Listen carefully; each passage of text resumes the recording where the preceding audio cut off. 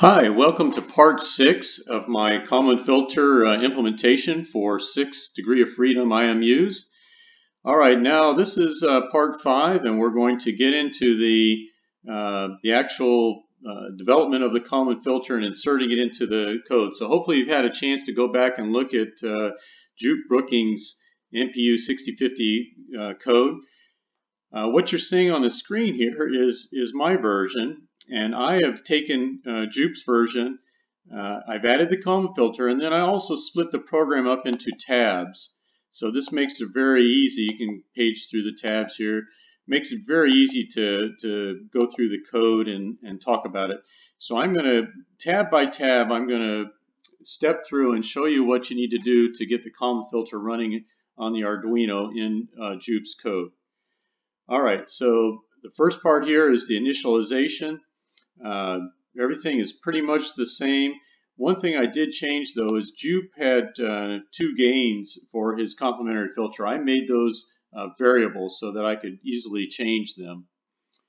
Uh, let's see, now the next thing is we get into uh, the Kalman filter and I have some comments here that explain uh, the different variables that we need to, to add and it's the, you can see the state variables up here these are the state variables, the uh, covariance variables, uh, the measurement matrix, um, RS, and the inputs, and the two gains.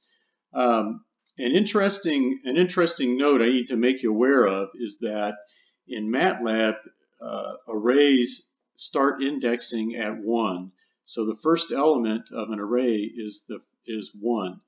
In uh, C and in Arduino code, the first element is zero. So um, a two element array will have element zero and element one in, uh, in um, Arduino and C code. So, if, uh, so what I've done to keep the numbers this consistent between MATLAB and here is I've I have the zero element in here, but I've, I've just got it. Uh, I'm not using it. So in other words, if we look at, at one of the at one of the state vectors here, the, the roll state, uh, notice there are three elements. I'm not going to use this first element, the zeroth element uh, of the array. And I'm just going to, so my, the two I'm going to be, you'll be seeing are element one and element two. So that'll keep the indexing the same between MATLAB and here. It's a little trick you can do. Of course, you can uh, save some memory space by by re-indexing everything starting at zero, but I like to start at one, uh, especially when I'm showing a demo. So here's the here's all the different um, uh, variables that you need. And uh, what we're going to be setting up is a Kalman filter for estimating roll and, a, and another Kalman filter, a separate one for estimating pitch. Uh, we won't need it for yaw uh, because we really won't be uh, tracking yaw accurately in a six DOF because you don't have a magnetometer to get compass angle anyway. So you just go ahead and let that drift. But we don't want pitch and roll to drift. So we're going to use either a complementary or a Kalman filter to do that. So we'll, we'll uh, add in pretty much the same variables that we had in MATLAB. It is the same variables, although I now have both a pitch and a roll set of variables. Um, so those are those are all the variables we add. Um, you'll also see later that I'm outputting uh, some values. Mainly I want to output uh, uh, pitch roll and yaw to uh, to the serial port. So I have some uh, parameters that I've I've added so I can do that. But I'll get to that in a minute. All right, let's look at the setup routine, setup portion, and let me page through and see what I've changed here. I don't really think I've changed yet. Nothing changes in this one, this section. Okay, the main loop. In the main loop, there are some things that are a little bit different in here. Uh, mainly, if you go down here uh, you can see here is the uh, complementary filter where I've, instead of using uh, Joop's fixed gains, I've added uh, variable gains so I can mess around with those at some time. I also, um, you'll see here that I also initialize the acceleration and, and roll and pitch calibration to some initial values um, that are calculated up here. And then, let's see, and then uh, just like in the regular program, it calculates the pitch and roll. And uh, for display purposes, Joop was also adding a second complementary filter that you don't really need, but it's he, uh, it looks like he was trying to get some further smooth roll and pitch. And so I've included that in here, but I really don't use it. Here's the important part here. Uh, these are the, the two lines that call the Kalman uh, filter roll algorithm and the Kalman filter pitch algorithm. Uh, so it, calls them with those two lines of code. And that is it. So in other words, these are the main two lines that you need in the, in the main loop routine. Okay, function calls. Uh, there are two function calls. I didn't change either one of them. They're just like what uh, Joop has. You need to be able to uh, set up the IMU, and you need to be able to read from the IMU. And these uh, two function calls do that. Uh, data output. I uh, you'll be seeing in video six. I I stream out a series of of uh, variables to the serial port, and then I plot them in real time. And this is the way I do that. I I set up I set up a number of variables here, uh, pitch, roll, yaw, and uh, and then I uh, those those are just setting up the variables. Uh, to get the the text values, I actually do a string to uh, a uh, value to, to string conversion here.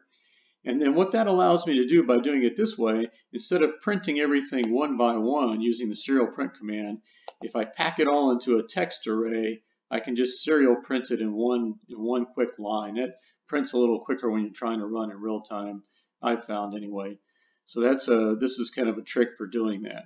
So I'm going to be printing out to the serial port. I'm going to print out um, the complementary filter, roll, pitch, yaw, and the uh, and the Kalman filter roll and pitch. And we can we'll be able to compare those.